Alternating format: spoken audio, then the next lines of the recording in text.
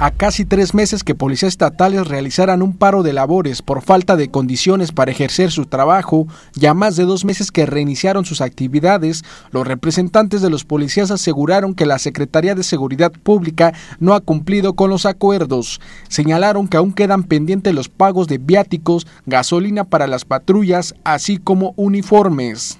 Destacaron que el pasado 27 de octubre tuvieron una reunión con la Oficialía Mayor en donde se comprometió que a mediados de noviembre les entregarían los uniformes y hasta la fecha no ha cumplido con la minuta, la cual no fue firmada por el oficial mayor. Esto no me lo saqué de la bolsa, aquí está el uniforme, aquí están las botas, aquí están las botas, mire, que por cierto, se las voy a dejar al oficial mayor y me voy a ir descalzo a patrullar hasta que no vea reflejado mi salario, hasta que no vea reflejado que a los compañeros se les paguen los viáticos, que se les paguen las ayudas alimenticias, hasta ese día no voy a dejar de molestar, siempre y cuando sea con respeto y hasta ahorita nos hemos manejado con respeto. Aseguraron que en las últimas semanas han recibido amenazas y hostigamientos desde números desconocidos en donde les advierten que dejen el movimiento.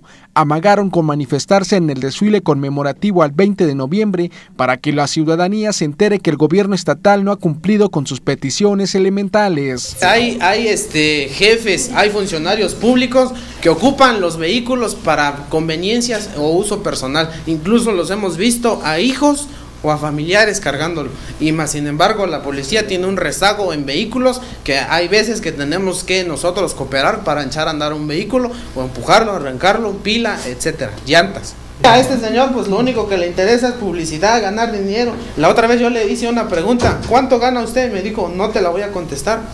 Al señor siempre le preguntamos, ¿dónde está el dinero de los compañeros? Nada más no contesta, no sé, se echan la bolita. Una patrulla por Con imágenes de Alan Ramírez informó para MBM Televisión, Irán Sánchez.